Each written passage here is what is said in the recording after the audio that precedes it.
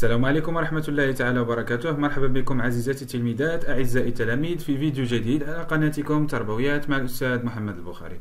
الفيديو ديال اليوم غادي نتكلم فيه على استدعاءات المترشحات والمترشحين لامتحانات نيل شهادة البكالوريا دورة يوليوز 2020 إذا مجموعة من الأكاديميات بدأت في التوزيع ديال هذه الاستدعاءات وقررت أنها توزعهم بمجموعة من الطرق. غادي نتعرفوها في هذا الفيديو. هذا الفيديو برعاية قناة تربويات مع الأستاذ محمد البخاري. بقوا معي إذا بلاغ حول استدعاءات المترشحات والمترشحين لامتحانات نيل شهادة البكالوريا دورة يوليوز 2020 هذا البلاغ متعلق كما قلت باستدعاءات المترشحات والمترشحين لامتحانات نيل شهادة البكالوريا دورة يوليوز 2020 إذا البلاغ صادر عن الأكاديمية الجهوية للتربية والتكوين بفاس مكناس المركز الجهوي للامتحانات. إذا المركز الجهوي للامتحانات بجهة فاس مكناس أصدر بلاغا خاصا باستدعاءات المترشحات والمترشحين لامتحانات نيل شهادة البكالوريا بالجهة جهة فاس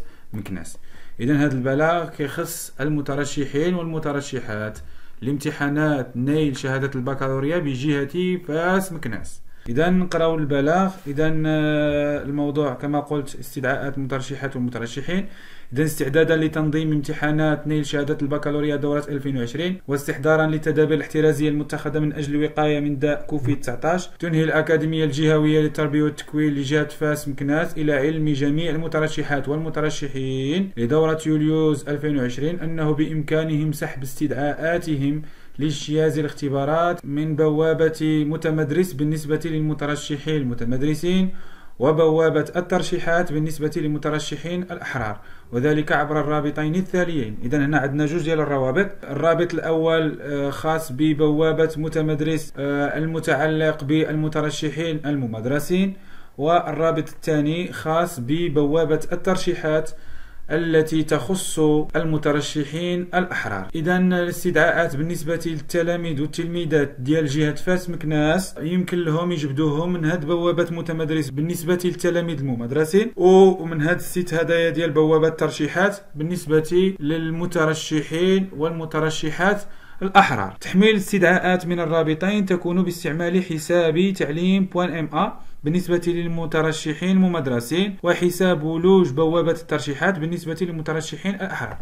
إذا باش télécharger ولا تحمل هاد الاستدعاءات غادي تدخل بال compte ديالك ديال تعليم ام بالنسبة للمترشحين الممدرسين والحساب ديال بوابة الترشيحات بالنسبة للمترشحين الأحرار. فهم. في الحالة ديال ضياع كلمة المرور يمكن للمترشح والمترشحة استعادتها من البوابتين المذكورتين. حالة أن كلمة المرور ضاعت لك يمكن لك ترجعها انطلاقا من هذه الروابط هذه. رابط بوابة المتمدرس بالنسبة للمترشحين الممدرسين ورابط بوابة الترشيحات بالنسبة للمترشحين والمترشحات الأحرار. إذا هذا البلاغ يخص فقط المترشحين والمترشحات بجهة فاس مكناس. بالنسبة لباقي الجهات منين يخرجوا؟ ديك الساعات نوافيكم فيديو جديد إن شاء الله. هادشي اللي كاين عندي في هذا الفيديو. شكرا لكم على المتابعة. زيدوا دعموا قناة تربويات مع الأستاذ محمد البخاري بالاشتراك والضغط على زر الجرس إن أعجبكم المحتوى. والسلام عليكم ورحمة الله تعالى وبركاته.